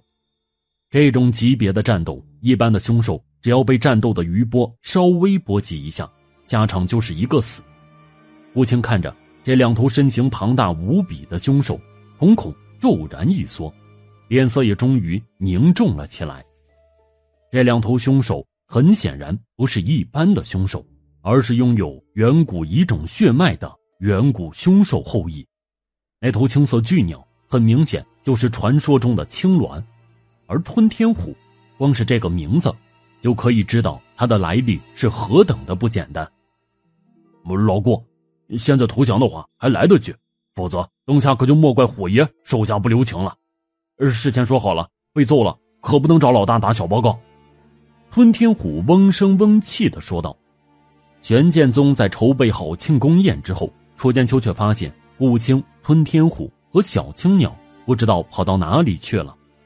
楚剑秋用通讯玉符给三人发讯息，却发现这三人都接收不到他发出去的讯息。楚剑秋见到这一幕，脸色顿时就黑了。妈的，这三伙又在搞什么幺蛾子？三人同时都接收不到讯息，这表明这三人都不在南州，甚至都不在天武大陆。这三人同时消失，这让楚剑秋心中不由升起几分不妙的感觉。他立即通过暗夜营调查三人的去向。通过暗夜营的调查结果，楚剑秋得知这三人全都跑到松泉秘境去了。妈的，这三个不省心的家伙！楚剑秋得到这个消息后，顿时不由暗骂了一声，立即动身前往松泉秘境。来到黑山城后，楚剑秋找到驻守黑山城的暗夜营弟子，了解到顾青三人往西荒域方向去了。楚剑秋听到这个消息后，脸色更是发黑。这三个混蛋可别给他弄出什么幺蛾子来才好。楚剑秋没有犹豫，立刻动身朝西荒域方向飞去。西荒域至今都没有经过玄剑宗的开发，可以说还是一片未知之地。即使如今玄剑宗的实力已经今非昔比了，楚剑秋对松泉秘境的西荒域依然不敢掉以轻心。因为无论是吞天虎，还是小青鸟，亦或是当初和小青鸟大战的桃物，这都是来头极其不简单的远古凶兽的后裔，而这些远古凶兽的后裔可都是出自松泉秘境中的。这松泉秘境远远不像表面上看起来那么简单。东山域可以说是松泉秘境最安全的一片地方了，而潜伏有无数凶兽的西荒域。都还不知道隐伏着多少未知的危险呢，所以楚剑秋一直把松泉秘境的西荒域列为玄剑宗的禁地，不允许玄剑宗的弟子随意跑到西荒域那边去，以免引出什么未知的恐怖出来。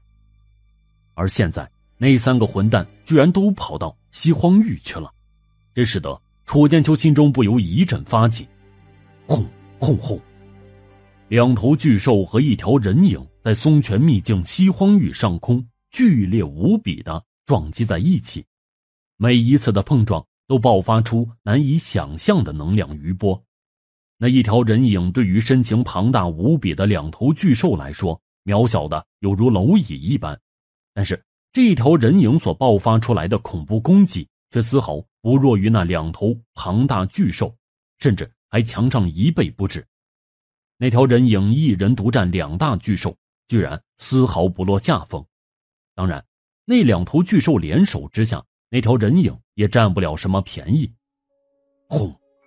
那头身长两万丈的白色巨虎被那条人影一拳轰飞数百里，庞大无比的身躯砸落在地面上，把地上撞出了一个巨大无比的深坑，沉沙碎石犹如箭雨一般朝着天空倒射而去。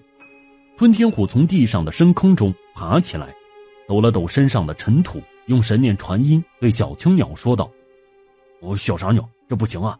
这货的实力太强了，不如我们停手吧。”“不行，本姑娘今天非要好好教训一顿这姓顾的不可。”“蠢虎，你这个怂货，这才哪儿跟哪儿啊，就要投降了？本姑娘看错你了，原本以为你还算一条汉子。”今天看来，你都比不上本姑娘一个女的。唉，依本姑娘看，你以后也别自称虎爷了，干脆自称虎娘好了。啊，不对，你这样的怂货哪里和虎字沾边了？都简直侮辱了这个虎字的威风。你以后干脆叫猫娘好了。纯虎，你今天若是临阵脱逃的话，以后本姑娘。就叫你猫娘。小青鸟恼怒无比的用神念传音，大骂道：“若是吞天虎临阵退缩了，单凭他一人之力，可无法打得过顾青。顾青的实力太强悍了，根本远非普通的天尊境后期的武者可比。以这混蛋的实力，估计都能够和天尊境巅峰的强者一较高下了。”吞天虎听到小青鸟这一番怒骂。顿时也是勃然大怒，因为小青鸟骂的实在太过刻薄难听了。他堂堂的吞天虎，若是被小青鸟叫做猫娘的话，这让他的脸往哪里搁？这比小傻鸟骂他蠢虎都更加令他不可忍受。吞天虎顿时仰天咆哮一声，又朝着顾青冲了过去。老顾，你再不投降的话，可就别怪虎爷不客气了。吞天虎对着顾青怒吼道：“如今要想停止这场战斗，只能是让顾青投降了。小青鸟都已经把话说到了那个份上，让他主动停手的话，这是不可能的事情了。”大白猫有什么招数，尽管放马过来吧。”顾青意气风发的道。和这两头凶兽的这一战，也彻底激发了他的战意。这两头凶兽超乎想象的实力，也恰好。让他有了棋逢对手的感觉，他突破天尊境后期不久，正好需要一场场的战斗来磨砺修为、稳固境界呢。虽然在平潭郡城上和谭台城交手过两次，但是区区两次的战斗还远远不足以让他的境界得到足够的磨砺，他还需要更多的战斗来砥砺自身修为。况且让他向两头灵兽低头投降，这种事情太掉格了。他顾清堂堂天尊境后期的高手，可丢不起这个人。若是此事被贡南烟和贡寒韵知道了，他以后还如何在自己的妻女面前抬起头来？尤其是这头纯虎，今天自己真要是向他服软的话，以这货的尿性，日后都还不知道会做出什么样的事情来。嗯，老顾，这可是你自己自找的，可莫怪虎爷不给你留情面。吞天虎见到顾青如此嚣张，顿时也是勃然大怒。我小傻鸟，放大招！虎爷今天非要给这货一个教训不可，让他认识到玄剑宗究竟是谁的地盘。吞天虎转头对小青鸟说道：“哼，早就该这样了。”小青鸟冷哼了一声，说道：“说着，他仰天发出一声高亢的鸣叫，身形一抖，浑身顿时燃烧着一团熊熊的青色火焰。昆天虎也仰天发出一阵。”震天动地的虎啸，两只爪子一伸，十根锋利无比的利爪从虎爪中刺出，闪耀着令人胆寒的光芒。顾青见到这一幕，脸色顿时也不由凝重起来。这一次，他是真正感受到了一股极其可怕的威胁。无论是小青鸟身上那燃烧着的青色烈焰，还是吞天虎那十根刺出虎爪的利爪。都让顾青感受到极其强烈的威胁。面对这种情况，顾青也不敢掉以轻心了。手掌一张，取出了楚剑秋给他的那七柄极品长剑法宝。之前与小青鸟和吞天虎战斗，顾青一直都是赤手空拳。毕竟这两头灵兽是楚剑秋的，吴青并不想真正的伤到他们。但是现在，若是再赤手空拳应战的话，吴青感觉。自己恐怕会吃不了兜着走。双方憋着大招，正要一触即发的时候，忽然一道声音从天边传来：“你们这是在干什么？吃饱了撑着，没事找事是吧？”听到这道熟悉的声音，吞天虎首先怂了，立即身形一晃，迅速变成一只呆萌可爱的大白猫。顾青也是有些尴尬的收起了那柄七阶极品长剑法宝。毕竟拿着楚剑秋送的法宝用来对付人家的灵兽，这的确有点不地道。见到楚剑秋到来，小青鸟也知道今天这一架是打不成了，只能不情不愿的收起了那燃烧着的青色烈焰，身形一晃，变回了一只巴掌大小的漂亮小青鸟。老大，我们就是和老郭闹着玩，您别当真。吞天虎顿时窜到楚剑秋身边。用那颗大脑袋蹭了蹭楚剑秋，满脸讨好的说道：“楚剑秋哪里信他的话，顿时一巴掌狠狠拍在他那大脑袋上，恼火无比的说道：‘下次再这么乱来，信不信老子剥你的皮，抽你的筋？’”吞天虎听到这话，顿时吓得不由一哆嗦，连忙甩锅道：“我老大，这不是俺的主意，是小傻鸟撺掇俺这样干的。”小青鸟听到这话。顿时气得肺都炸了，他翅膀一伸，指着吞天虎，愤怒无比的大骂道：“蠢虎，你太不讲义气了！你这混蛋、人渣、狗贼！”这蠢虎为师太不是东西了。楚剑秋一句话，这蠢虎居然就把他给卖了。既然纯虎如此不讲道义，自己也用不着和他客气了。楚剑秋，你可别听纯虎乱说，这纯虎。是想要给姓顾的一个下马威，想要把姓顾的打服，然后收为小弟，这才跑过来和本姑娘主动合作的。小青鸟顿时也把吞天虎的目的和盘托出。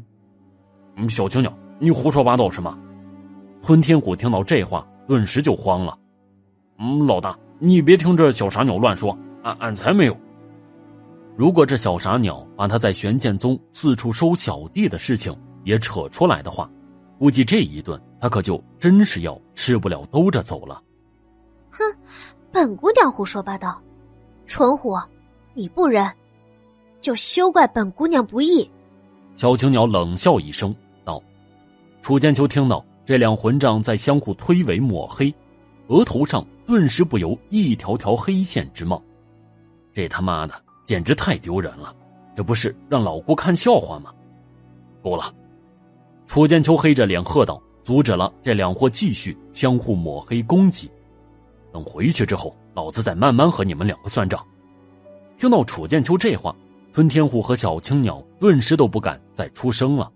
他们感觉到，这次楚剑秋是真的生气了。老郭，他们两个胡闹，你怎么也跟着他们一起胡闹？楚剑秋有些无语的看了顾青一眼，说道。顾青闻言，顿时不由尴尬的摸了摸鼻子。说道：“这两位盛情相邀，顾某推脱不过，也只能是恭敬不如从命了。不过，楚兄弟，你也不必太过较真，我就是只和他们闹着玩而已，不是什么大不了的事情。”顾青最终打了个哈哈，说道：“行了，以后少跟这两个夯货胡闹。”楚剑秋摆了摆手，道：“赶紧回去吧，庆功宴都已经准备好了，就等着你们三个了。”顾青毕竟是贡寒韵的父亲。楚剑秋也不好太过说他，毕竟还是得给他留点面子。老大，俺来载你回去。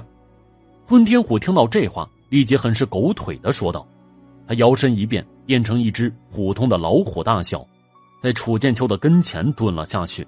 这次老大看起来很是生气，他得提前将功折罪才行，过后也好少受一点惩罚。”马屁精！小青鸟见到这一幕，很是不屑的。撇了撇嘴，说道：“楚剑秋倒是没有拒绝吞天虎的好意。虽然以他目前的修为，飞行速度也不慢，但是和吞天虎比起来，还是有不小的差距。”四人随即出发，返回了东山域的黑山城，通过黑山城的跨界传送阵返回南州万石城。这一次的庆功宴摆得极其宏大，绝大部分的玄剑宗弟子都参加。除了那些正在执行任务的大军之外，但在这次庆功宴上，贡南烟却并没有出席，以免他的身份泄露出去。虽然在玄剑宗的万石城中，基本上是绝对安全的，没有人能够渗透进万石城中打探到万石城中的相关消息，但是为了以防万一，贡南烟还是觉得不能冒这样的风险。毕竟，一旦他已经恢复的消息泄露出去，风元皇族必然会知道楚剑秋得到了生命原液，因为以他被暗魔窟引毒败坏了的身体生机的状态，没有生命原液是根本不可能恢复得了的。而一旦风元皇族知道楚剑秋身上有生命原液的话，谁知道风元皇族会不会发疯？毕竟风元皇族的老祖风山玄寿命将近，生命原液可是他续命的唯一机会。面对生命原液的诱惑，很难说风山玄究竟会做出何等事情来。而一名半步通玄境的绝顶强者，一旦发疯，不惜一切代价攻过来的话，后果是很难想象的。为了保险起见，宫南烟连青孝南这个曾经的得意学生都没有见。虽然宫南烟不认为青孝南会出卖他，但是却担心青孝南在得知他已经完全恢复之后。等回到丰源学宫之后，在平时的举止之间会露出破绽来，他可不想因为自己的一己之私而把楚剑秋和玄剑宗陷入到如此危险的境地中。别看宫南烟平时对楚剑秋的态度很不客气，但是对于楚剑秋对他们一家子的恩情，他是深深铭刻在心中的，即使是为了楚剑秋付出性命，他都会毫不犹豫。在庆功宴上。楚剑秋对那些战功卓著的武者进行论功行赏，在平潭郡城的那几场战争中，要说立功最大的人，既不是实力最强的顾青，也不是梁彦玲这个军部副帅，而是慕容清影这个平时不显山不漏水，而且脑子有坑的小妞。因为正是当初那场战争上，慕容清影对破甲业的严密操控，才使得澹台城所率领的十五万尊者境大军。全军覆没，最终只逃出了澹台城、石剑和缥缈三人。若是没有慕容清影的暗中出手，借助迷雾大阵掩护下对破甲业的精密操控，使得谭台城这样的天尊境巅峰的绝顶强者都中了招。即使玄剑宗拥有破甲叶，也不可能达到如此惊人的战果。所以，慕容清影在那一战中，当算首功，谁也没有异议。即使连梁彦玲这个心高气傲的人，也只能心服口服。而且，慕容清影这一战的战功之巨大，可以说也是玄剑宗经历这么多场战争所立的首次战功最大的一次。因为一战之下，令暗魔王朝十万尊者境大军全军覆没，而且还俘虏了暗魔王朝十数名天尊境强者，这是在此之前玄剑宗从来没有人做到过的事情。单凭这一战所立的战功。慕容清影在玄剑宗战功榜上的排名就急剧飙升，由一开始的垫底排名一下子就杀进了前五名。慕容清影看着最新更新的战功排行榜，顿时心中一片喜滋滋，这距离成为楚剑秋大老婆的目标又近了一步。杨叶玲，怎么样，服气了没有？慕容清影拿着一壶酒来到梁艳玲的身边。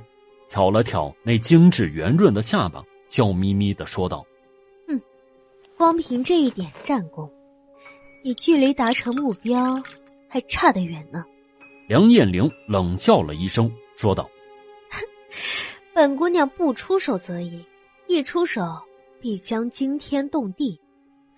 梁艳玲，你就等着给本姑娘当陪嫁丫鬟吧。”慕容清影仰头喝了口酒，摇摇摆摆的醉醺醺离开了。由于今天喝的酒有点多，他在走路的时候差点被旁边的一张椅子给绊倒了。哎，慕容妹妹，你悠着点，可别喝醉了。龚初丹连忙上前扶着他，说道：“哼，孔师姐，你就别管我了。本姑娘今天高兴，毕竟能够收大名鼎鼎的梁将军。”为陪嫁丫鬟，这事想想就够威风的。慕容清影醉醺醺的笑着说道。听到慕容清影这话，宴席上一众将领都是不由一阵面面相觑。这是什么情况？什么收梁将军为陪嫁丫鬟？这丫头的胆子可真够肥的，连这种话都敢说。喂，老方，这是什么情况？慕容清影那疯丫头刚才说的是什么意思？载元鹏用手肘撞了一下坐在一旁的方笑，低声问道。方笑见到他那一脸八卦的样子，脸皮忍不住抽了抽。妈的，这夯货就永远都记不住教训。他因为好奇梁艳玲的八卦事情，已经吃过多少苦头了，现在又来。不知道。方笑面无表情的说道。他可没有活腻去打探梁艳玲这种事情，这不是找死吗？在袁鹏这夯货皮粗肉厚，反正已经被穿惯小鞋了，他不怕惩罚，但是方笑却怕。载元鹏见到方笑这般模样，顿时忍不住撇了撇嘴，说道：“老方，你这人就太没趣了，整天板着一张脸的，这人生得多无聊。”在方笑这边碰了一个软钉子。载元鹏便没有再去理他，他转过头来，又用手肘撞了一下坐在他另一边的张十七，问道：“哎喂，老张，你知道这是什么情况吗？你也是参与了平潭郡城的一战呢，是不是知道一些内幕？”张十七听到这话，顿时就来了兴致，他犹如做贼一般打量了四周一眼，见到龚寒韵和梁念玲都没有注意到这边的情况，便向载元鹏招了招手。示意载元鹏靠近过来一点，载元鹏见状，立即就凑了上去。老载，你这算是问对人了。你这事儿问一般人，还真不一定能够打听得到其中的内幕。兄弟，我那天恰好站在楚兄弟不远处，刚好就听到了这件事情的一些内容。张十七神神秘秘的在载元鹏耳边低声说道：“张十七原本就是喜欢作死的性格。”平时在丰源学宫东院的时候，就因为此事被贡寒韵揍了无数次。这次他恰好得知了梁艳玲和慕容清影之间打赌的秘密，原本就心痒难扫，想找个人来分享分享。但是，一般人一听到是有关梁艳玲的事情，立即就变了颜色，还没等他说完，就立即忙不迭的跑开了。这让张十七是感叹知己难觅。现在载元鹏主动凑过来询问此事，自然正中他的下怀。哦，这究竟是什么情况？老张，赶紧说来听听。过后，兄弟请你喝瑶光环玉尿。在元鹏听到张十七这话，眼睛顿时一亮，心中八卦之火立即熊熊燃烧起来。张十七顿时低声把那天梁艳玲和慕容清影打赌的事情说了一遍。